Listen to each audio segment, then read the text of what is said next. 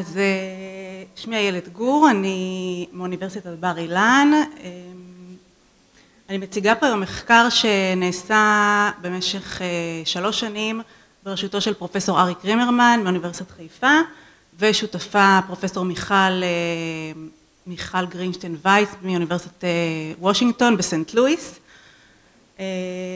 דווקא אפתח אולי בתודות גם למשרד הרווחה מנהל מוגבלויות שיזם את המחקר ולקרן שלם שתמכו במחקר, מחקר ראשון מסוגו בארץ.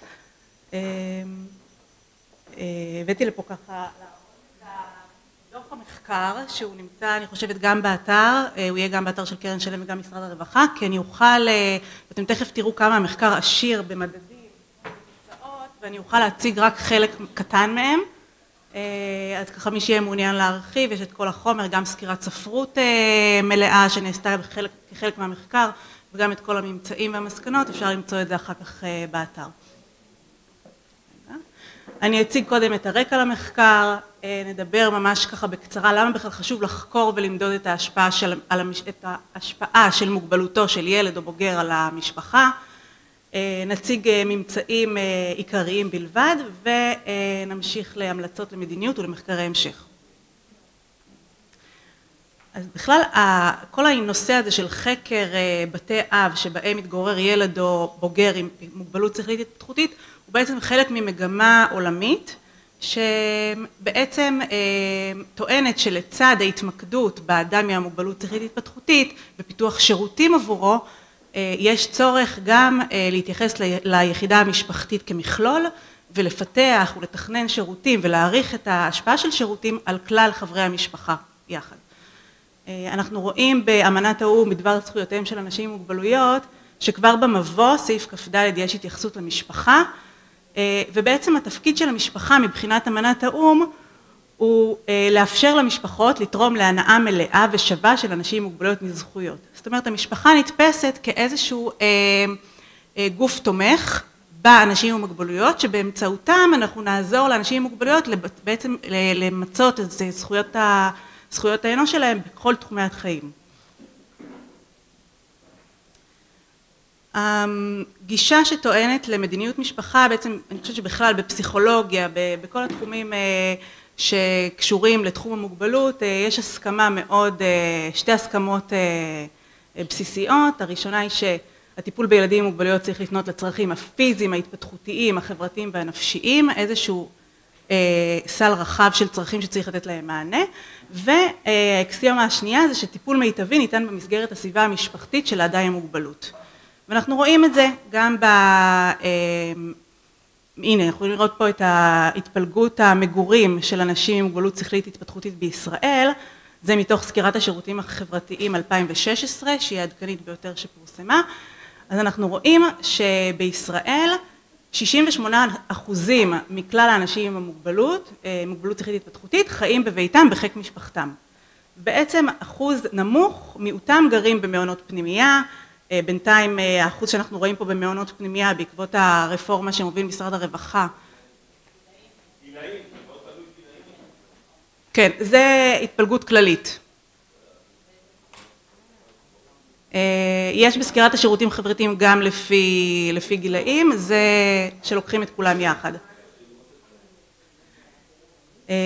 אז אנחנו רואים שבאמת הרוב חיים בביתם בחיק המשפחה והדבר שגם אנחנו רואים אותו בעולם וגם יש לו ביטוי בישראל זה שעל אף ש68 אחוז זאת אומרת הרוב המוחלט של האנשים חיים בבית אם אנחנו נסתכל על תקציב האגף אנחנו רואים מה? אה, אוקיי. אנחנו רואים מה?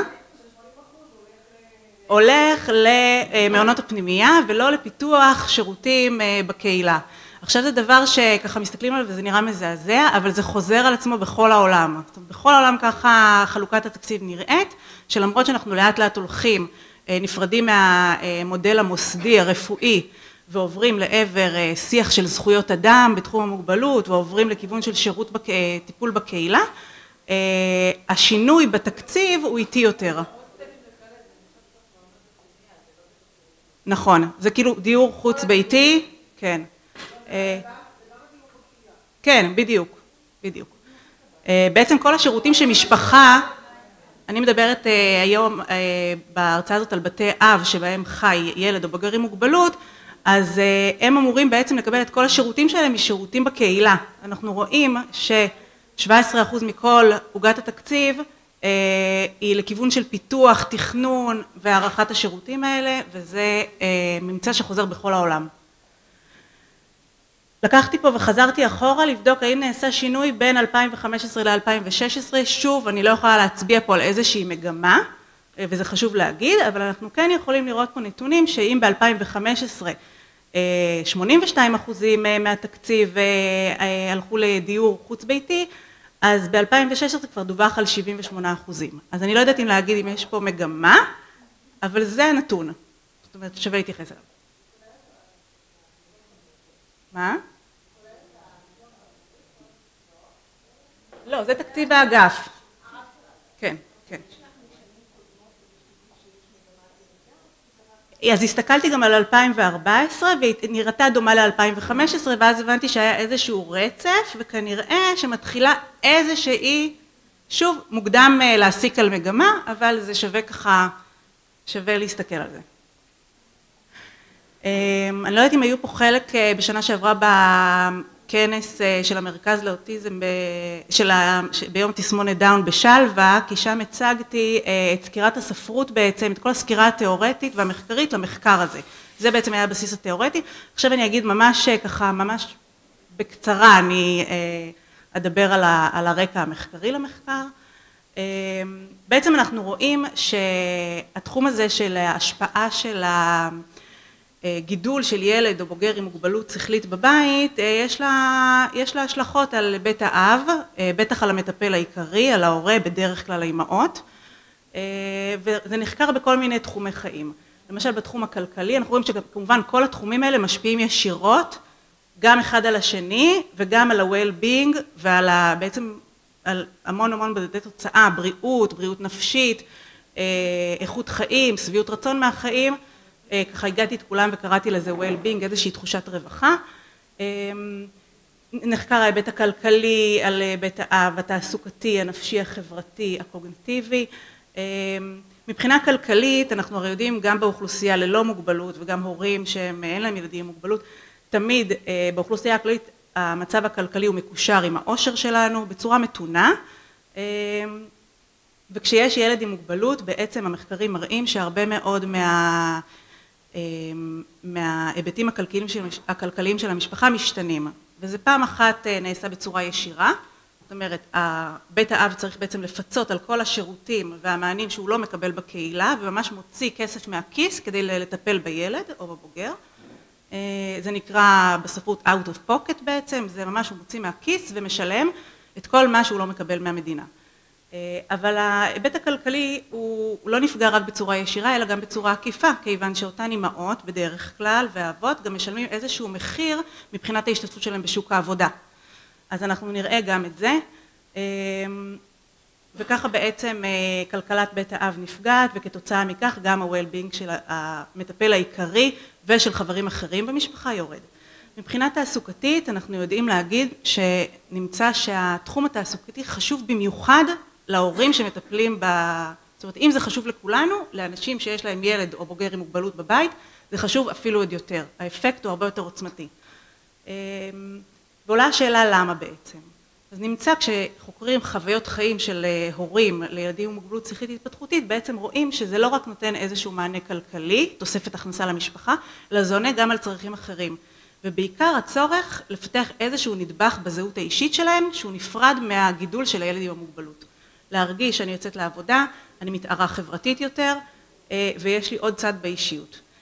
ועל אף שזה מאוד מאוד חשוב להם, ואנחנו יודעים את זה מבחינה מחקרית, התוצאות בשטח מעידות על פערים נורא נורא גדולים בין אימהות ובין הורים לאנשים, לילדים ללא מוגבלות, לבין הורים לילדים עם מוגבלות, משלמים מחיר מאוד כבד מבחינת התעסוקה.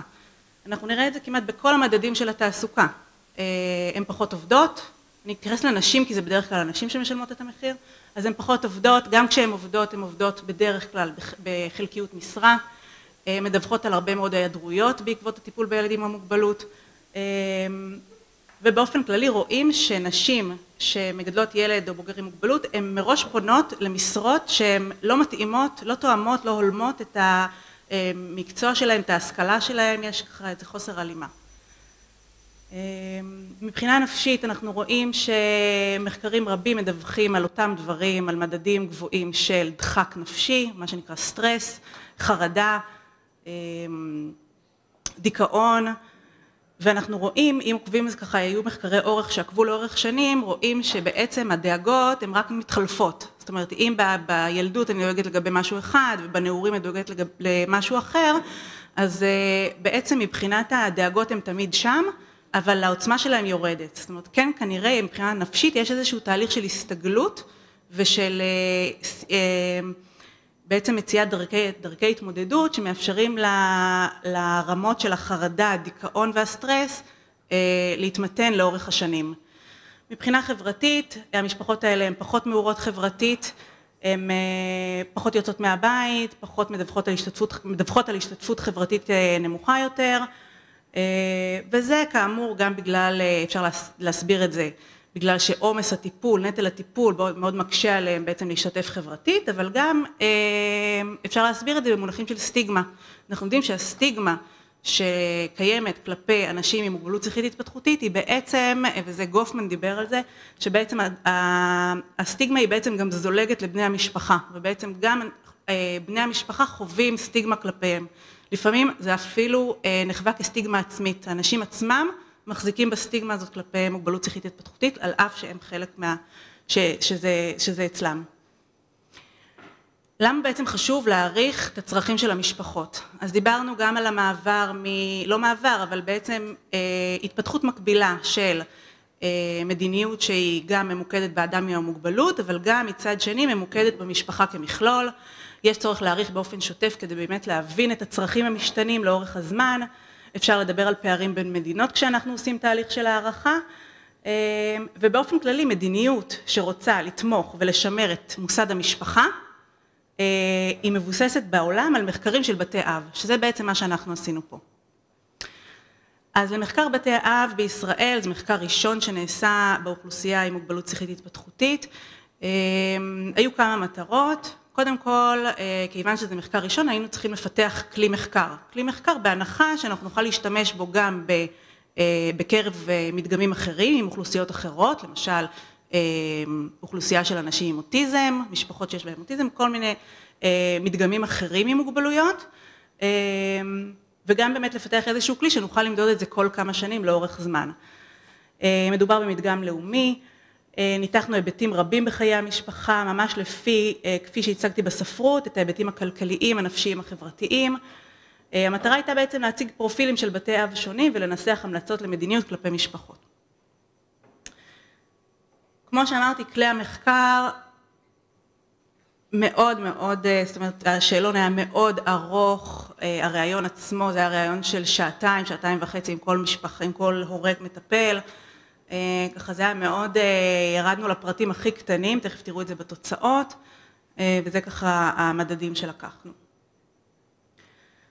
הגענו ל-301 בתי אב, המשתתפים הם ההורים לילד עם המוגבלות שכלית התפתחותית, בעיקר האימהות, גם במדגם שלנו 85% היו אימהות והשאר אבות.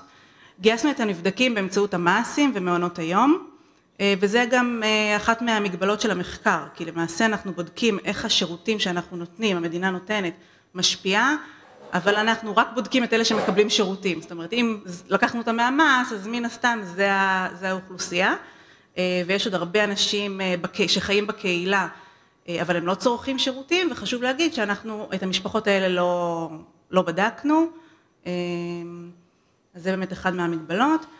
ניסינו עד כמה שאפשר להשתמש בכלים שגם מאפשרים לנו, שגם מבוססים על מדינות אחרות, כדי לראות מה שבודקים במדינות אחרות אנחנו נרצה לבדוק גם אצלנו, והשתמשנו בחלק מהכלים במדדים של הלשכה המרכזית לסטטיסטיקה, כדי שנוכל להשוות לאוכלוסייה הכללית. זאת אומרת, ממש להראות הורה, הורה באוכלוסייה הכללית, לעומת הורה לילד או בוגר עם מוגבלות שכלית התפתחותית.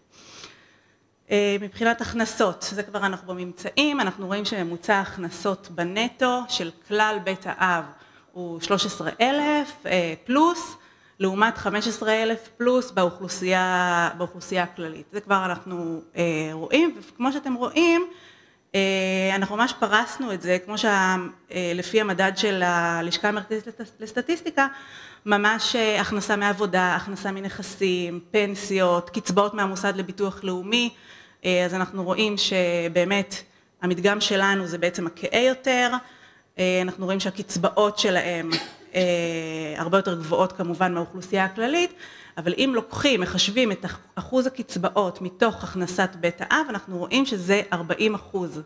זאת אומרת 40 אחוז מכל ההכנסה של בית האב היא מבוססת על הקצבאות, זה תלות מאוד מאוד חמורה, חמורה בקצבאות. באוכלוסייה הכללית אגב זה 10 אחוז, כי גם באוכלוסייה הכללית יש את הקצבאות, חלק מהמשפחות מקבלות כל מיני סוגים של קצבאות וזה 10 אחוז. ההוצאות הם אותו דבר, זאת אומרת בסביבות ה-12,600 למשפחה. מה? זה פר נפש, זה לנפש. זאת אומרת, זאת אומרת פה זה הממוצע הכללי, אבל כשעשינו, עשינו גם חלוקה לנפש. שזה מפתיע, כי למשל ארגונים שמנסים לפעול לטובת חקיקה סביב נושא של משפחות, הרבה מדברים על זה שההוצאות גבוהות יותר. כן. כן, אבל פה אנחנו תכף אנחנו נראה, אנחנו נראה גם תכף איך ההתפלגות של ההוצאות של הבית, זאת אומרת כמה מתוך ה-12,000 הן באמת הולכות על הצרכים של הילד עם המוגבלות וכמה על שאר הצרכים. המחקר לא היה לבוגרים. ממס ומעונות יום. מסים זה המרכזי תעסוקה, מעונות יום זה המעונות שלהם. לא, לא, גם... מרכזי יום זה נקרא? סליחה, זה נקרא מרכזי יום. הכי צעיר זה בגיל שנה ויש לנו בגיל שלוש, זאת אומרת זה כן... מעונות יום שיקומיים כנראה, זהו. אז טעיתי במושג.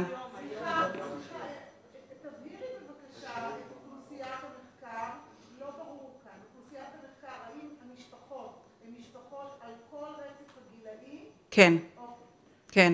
אני אמרתי מקודם מעונות יום, התכוונתי למרכז... מרכז... מעונות יום שיקומיים. כן. לקחנו מכל הגילאים וראיינו את ההורים. אוקיי.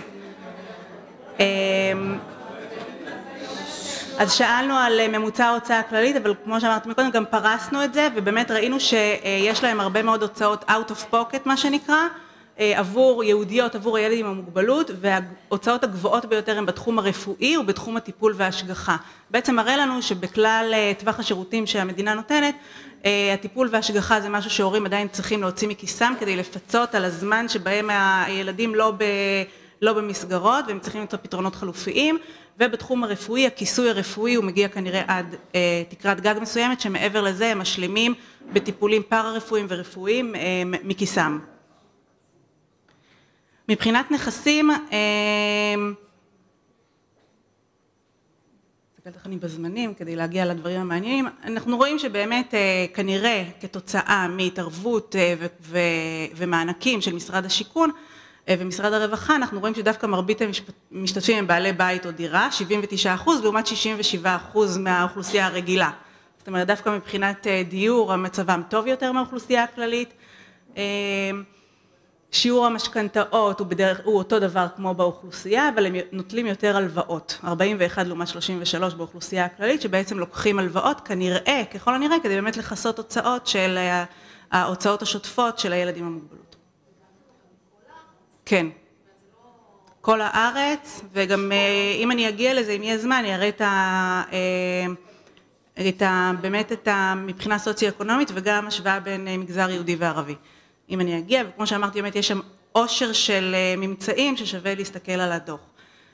מבחינת חיסכון אנחנו רואים ש-37 אחוז, רק 37 אחוז דיווחו שביכולם לחסוך, 43 אחוז אינם יכולים לחסוך, חמישית, חמישית מהנבדקים דיווחו שחובם בבית גדל מדי חודש. אנחנו רואים שמבחינת, ה, אנחנו קראנו לזה במחקר חוסן כלכלי, בעצם היכולת של המשפחה לחסוך כסף ולשמור כסף להתמודדות עם הוצאה בלתי צפויה, אנחנו רואים פה מדד נמוך.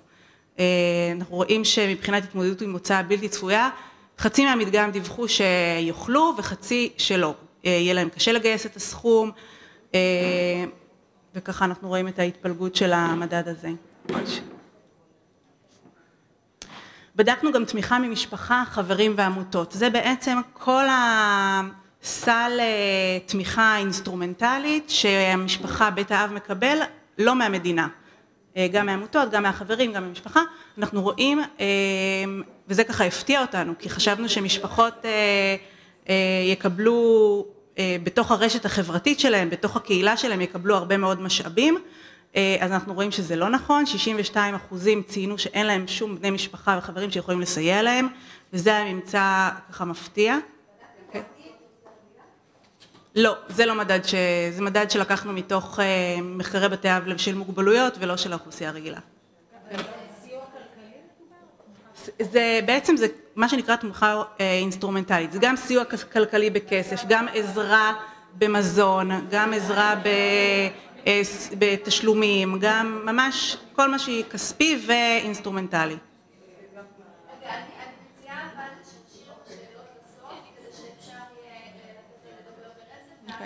אני שמחה שזה באמת מעניין ויש לזה. מבחינה נפשית, ראינו שהדחק הנפשי, הסטרס, בעצם הוא נובע משני מקורות שקשורים אחד אל השני, אבל הם נפרדים.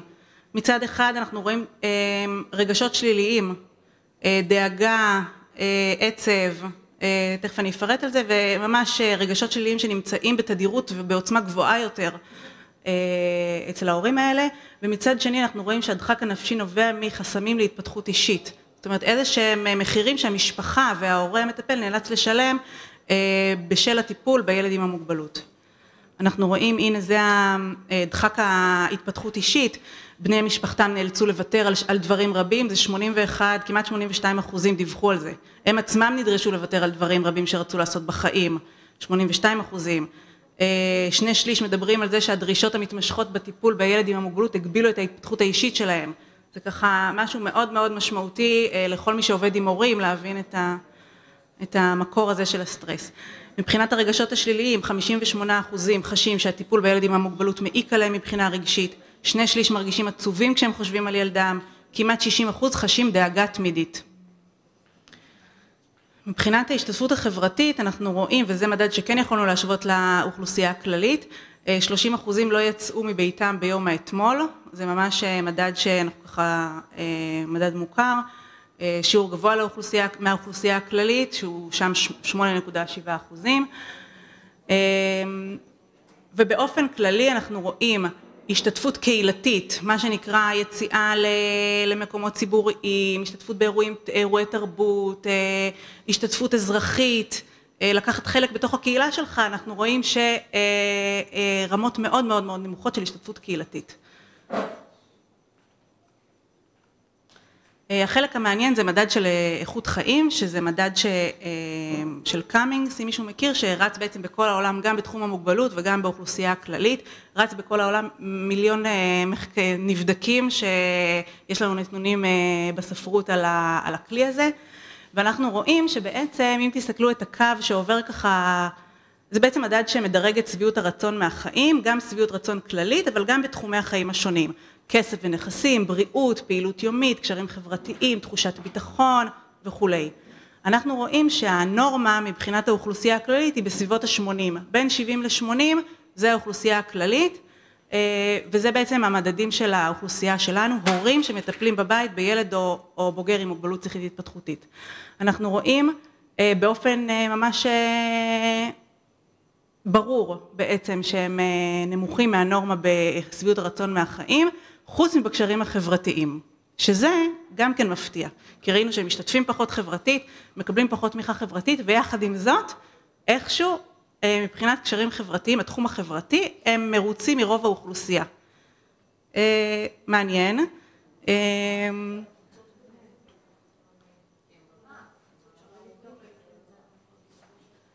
כן, זה שווה לה, לה, באמת להעמיק ולבדוק את, ה, את הדבר הזה עם אה, באמת אולי רעיונות איכותניים, באמת להבין את הפרדוקס הזה, שאיך בן אדם שפחות ופחות משתתף חברתית, סובל מסטיגמה, אולי אפילו מסטיגמה עצמית, אה, פחות משתתף בשוק העבודה, אה, עדיין, ובכל התחומים בחיים מדווח על שביעות רצון נמוכה, דווקא מבחינה חברתית בכל זאת מרגישים איזושהי שייכות, איזושהי תחושה,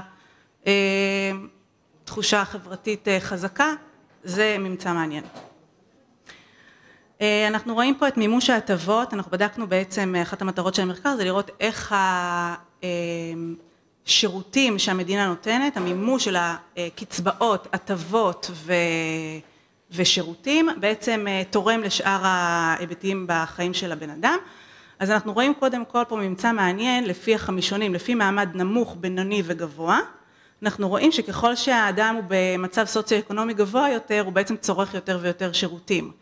זה דווקא מסתדר לנו עם איזשהו מודל אה, אה, פסיכולוגי סוציולוגי שהוא מוכר, שבעצם העשירים נהיים עשירים יותר. זה בעצם מראה לנו שדווקא אוכלוסיות שהכי צריכות מממשות אה, הכי פחות את הזכויות שלהם. כן, זה נסיעה, זה ידע, זה זמן פנוי להתעסק עם זה, ממש עבודה להבין מה מגיע לך ואיך, ולמצות את הזכויות שלך, אנחנו רואים את זה ממצא באמת, אה, מבחינתי אחד הקשים, אה, באמת להבין שלא משנה כמה נפעל וניתן ונפתח וזה, לאוכלוסיות שהכי זקוקות, זה בעצם, אה, זה מאוד מאוד קשה. כן. אני אדלג קצת. מבחינת פערים בין המגזר היהודי והערבי, באמת אפשר, אה, כתבנו על זה הרבה בדוח המחקר ואפשר אה, לפתח את זה. קודם כל אנחנו רואים כבר במאפיינים האישיים, מבחינת רמת השכלה, סטטוס תעסוקתי ומצב בריאותי, אנחנו רואים פערים לטובת המגזר היהודי. זאת אומרת, הורים במגזר היהודי הם יותר משכילים, הם יותר עובדים בהיקפי משרה יותר אה, גבוהים. אה, והמצב הבריאותי, אה, התפיסת הבריאות שלהם אה, גבוהה יותר, עוד לפני בכלל שנכנסנו למדדים של המוגבלות. ממוצע הכנסות נטו במגזר היהודי הוא כפול מהמגזר הערבי. אנחנו רואים פערים בנכסים ובחובות, דווקא מבחינת נכסים במגזר הערבי יש יותר נכסים, וזה כנראה גם משהו תרבותי וחברתי של... אבל יש יותר נכסים במגזר הערבי. בחובות יש, יש עניין מעניין שבעצם יהודים לוקחים יותר משכנתאות, אבל המטפלים מהמגזר הערבי לוקחים יותר הלוואות פרטיות והלוואות, אה, אה, אז ככה היה פערים.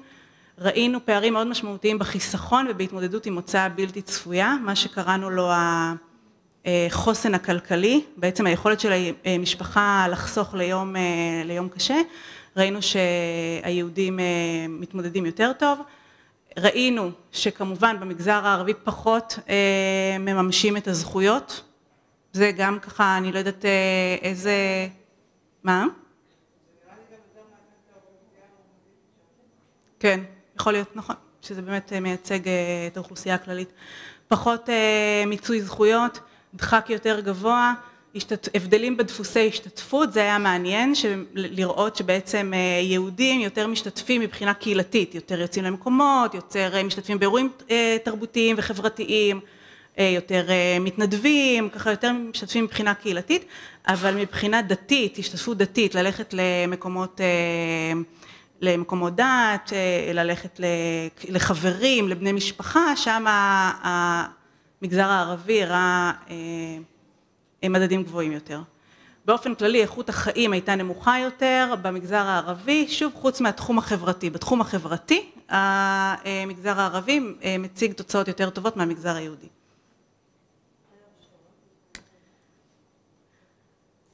זה בעצם מודל המחקר שככה אה, אני שנייה אתעכב על להסביר אותו. בעצם ניסינו להראות איך השירותים והקצבאות, תתעלמו מחומרת המוגבלות, כרגע רק תסתכלו על שירותים וקצבאות, אנחנו רוצים בעצם לראות מה הם עושים. זאת אומרת, החצים זה בעצם מראה על איזושהי השפעה, איזושהי תרומה, אנחנו רואים בעצם שהשירותים הם משפיעים, אני שנייה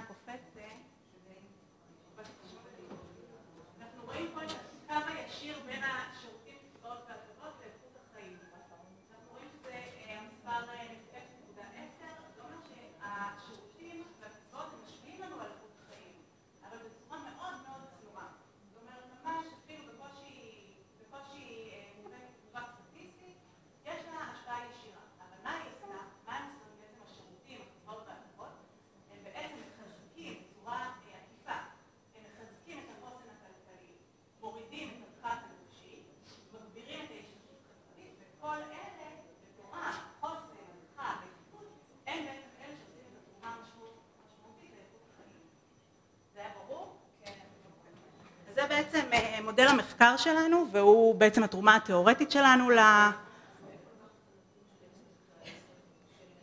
זה בעצם, זה בעצם מבחן סטטיסטי, פעם אחת בדקנו איך זה משפיע ישיר על איכות החיים ופעם אחת בדקנו את זה בצורה של תיווך, תיווך של כל ההיבטים, הכלכלי, הפסיכו... הנפשי והחברתי. ואנחנו רואים מה אפשר בעצם ללמוד מזה, אה, מה המשמעות של זה ל... ל... בכלל לשדה. אה, זה בעצם אומר שהשירות, אה, מה המשמעות של זה זה שהשירותים, הקצבאות וההטבות, כל מה שהמדינה נותנת ומפתחת כשלעצמם אין להם משמעות, אלא אם כן הם באמת פונים להגברת החוסן הכלכלי, שימו לב שזה חוסן כלכלי ולא הכנסה. זאת אומרת ההכנסה כשלעצמה היא לא תורמת תרומה משמעותית, אבל החוסן הכלכלי זה בעצם היכולת של המשפחה לחסוך, אה, היכולת של המשפחה להתמודד עם הוצאות בלתי צפויות. אם זה ייתן מענה לזה, זה בעצם ישפיע בתורו על איכות החיים. אם השירותים פונים להפחתת הדחק הנפשי, אז הדחק הנפשי בתורו, אה, כשהוא נמוך, הוא יגביר את איכות החיים. זאת אומרת, זה ממש אה, קשרים מתווכים. עכשיו אנחנו הרצנו את המודל הזה גם על כל מעמד סוציו-אקונומי בנפרד, על הנמוך, הבינוני והגבוה. לא יודעת כמה זמן יש לי, איבדתי... אה, אוקיי. אז ככה בדקנו לראות אה, האם המודל הזה אה, עובד אותו דבר עבור מעמד, מעמד נמוך, בינוני וגבוה, ומה שבעצם גילינו זה שהמודל, כמו שראינו אותו פה, הוא מאוד דומה, אתם תראו, במעמד הביניים. זאת אומרת, זה מודל שהוא נכון למעמד הביניים.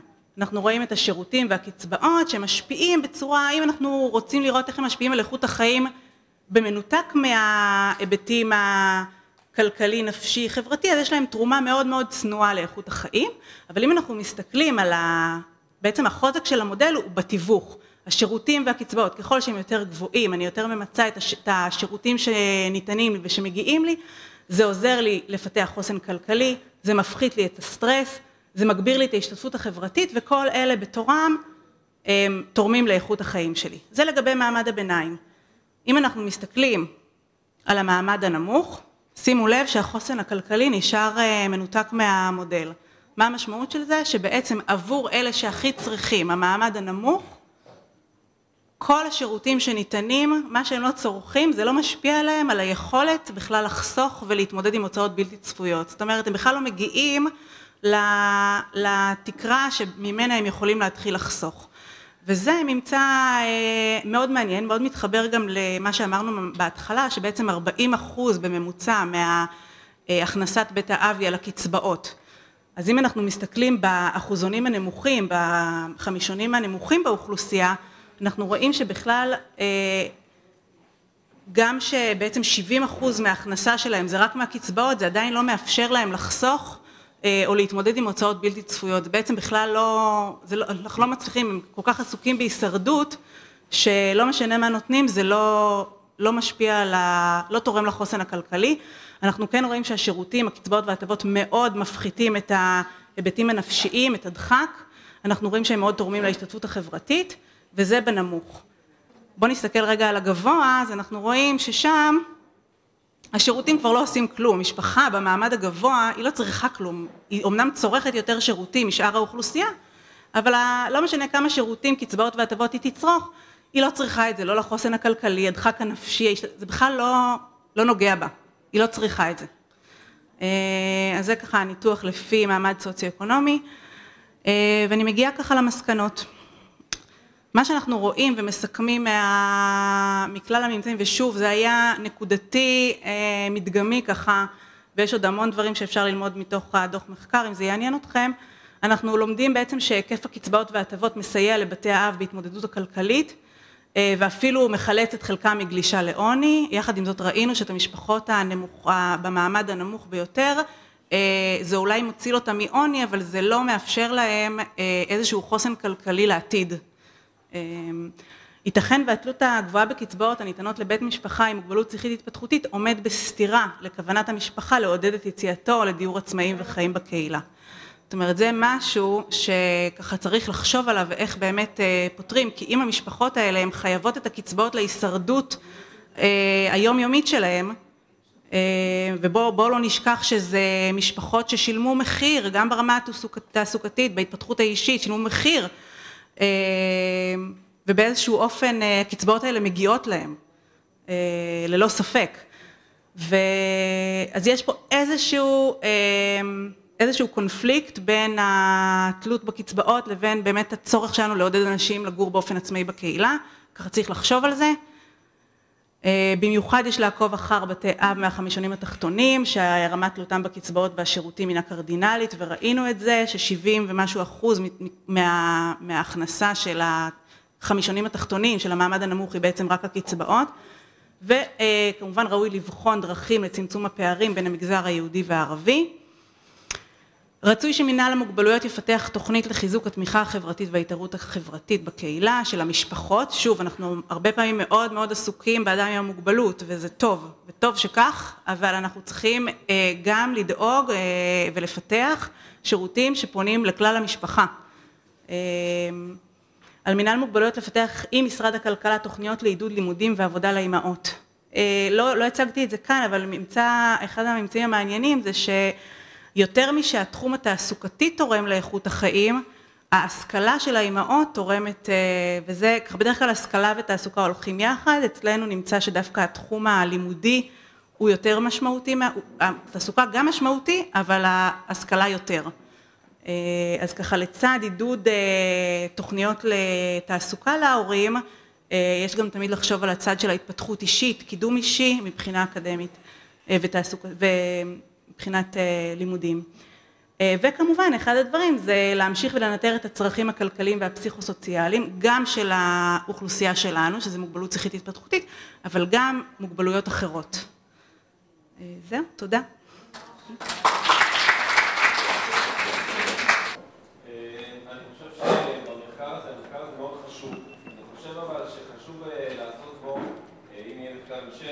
הפרדה בין שני דברים, אחד גיל, שיש הבדל מהותי בין עד גיל 21 ל-21 פלוס, הן בשירותים והן בשאר הדברים הנצחים של המשפחה, ואני חושב שמאוד חשוב יהיה גם לעשות השוואה בין מי שגר בבית לבין מי שגר בדיור. אוקיי. שייך לזה, ולראות באמת אם יש הבדלים במשפחות שזה מתקיים. כן. אז תודה. את רמת המוגבלות, כן. אז קודם כל העניין הזה של פלוס מינוס 21 זה אנחנו דווקא בדוח הסופי מופיע אם תרצו לקרוא,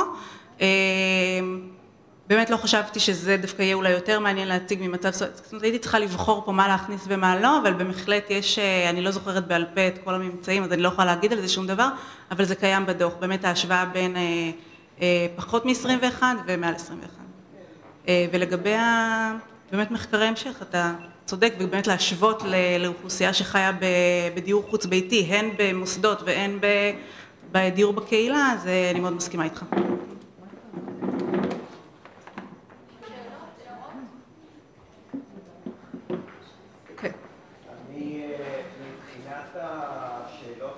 זה מה לא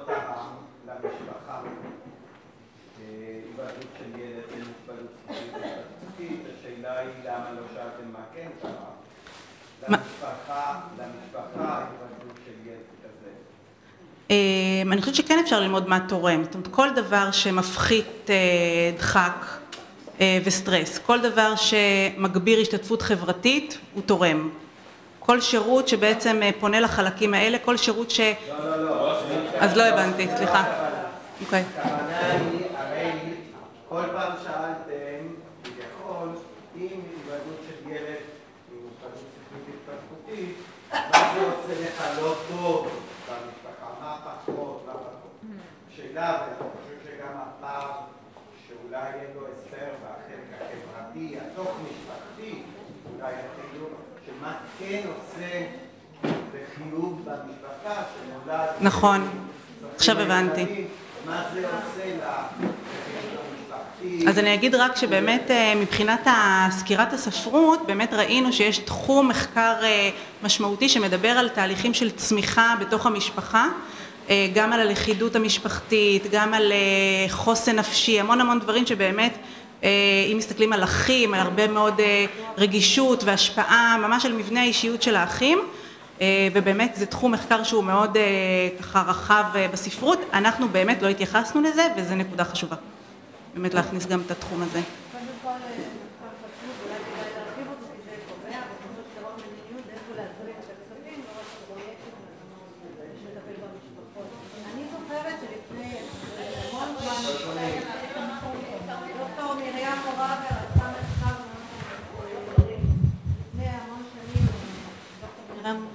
מחקר מעניין מאוד, שבעצם מה שהיא הביאה זה שדווקא בגיל השלישי חושבת שהיא התייחסה לאימהות, כי הן אלה שנשארות בדרך כלל, אה, שדווקא מעלה את איכות החיים אה, בכל מיני דרכים, בעיקר משמעות, אה, שזה משהו מתהפך שם, כן. כשהילד הילד הגדול נשאר בהחלטה.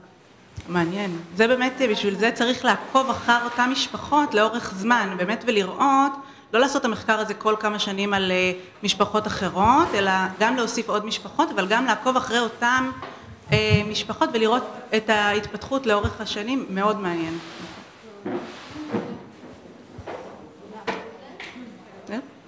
תודה.